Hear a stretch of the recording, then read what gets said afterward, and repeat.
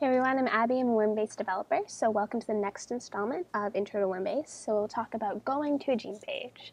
So the easiest way, just go up to the search bar, right hand side, and just start typing the name of the gene you want. Let's go for popular DAF16. So autocomplete starts filling it out. Press enter, it'll take me right to that gene, very simple. Um, so now if I want to make it easier to get for me to get there next time, I can actually just press the star here in the title bar and it will show up here in my favorites. So next time I'm at the home page, just go to my Wormbase and then click on DAF16 there, and it will take me right there.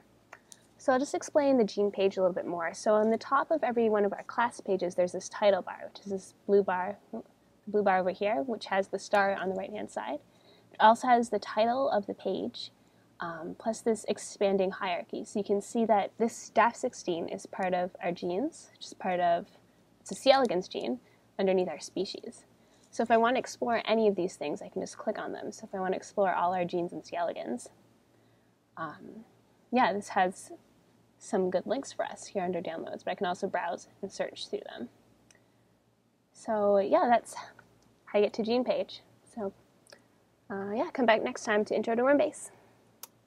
Hey, so if you still have any questions or anything happens in Wormbase, at the bottom of every page we have a questions, feedback, and help tab. So you just open that up, leave your name and email. Um, if you're logged in, you'll already have that. Select the type of question you have, any content correction, question, or everything's broken, please let us know. Um, just type what you have there, then hit send, and we'll get back to you as soon as possible. We'd love to hear from you. You can also email us directly. Um, email us help at wormbase.org or you can uh, see our Twitter account. So it's uh, at Wormbase. Hey guys, so for those of you that will be at the International Worm meeting this year, here's a quick schedule overview of um, yeah the Wormbase events that are going on. So quick overview first night, we have Big Plenary Talk, very exciting. You can hear what's happening in Wormbase where we're going.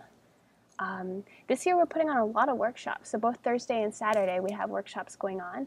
So we have a lot of big data mining stuff going on and lots of new data that's coming out. So uh, you can come to those, learn about Wormbase.